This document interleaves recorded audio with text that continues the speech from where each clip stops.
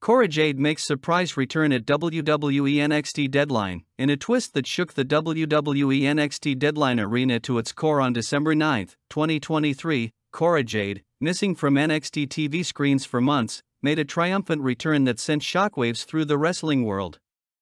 The comeback came on the heels of an explosive Iron Survivor women's match that had fans on the edge of their seats.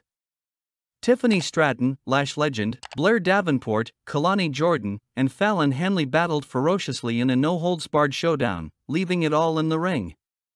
Just when you thought the dust had settled and Blair Davenport had emerged victorious, seizing the spotlight and proclaiming herself the Iron Survivor.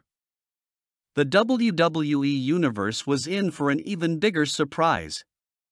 She will now challenge Lyra Valkyria for the NXT Women's Championship at NXT New Year's Evil. However, when Valkyria came out to the entrance ramp to face off with Davenport, she was holding her title belt over her head when she was attacked from behind.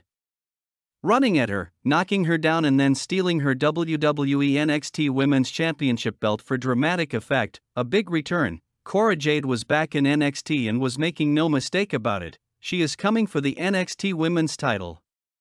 In a backstage interview segment, Cora Jade said that she gave the NXT Women's division some time off, but she said she would announce her next move on Tuesday.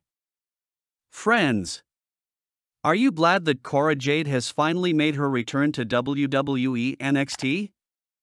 What do you want to see her do next? Let us know in the comments below.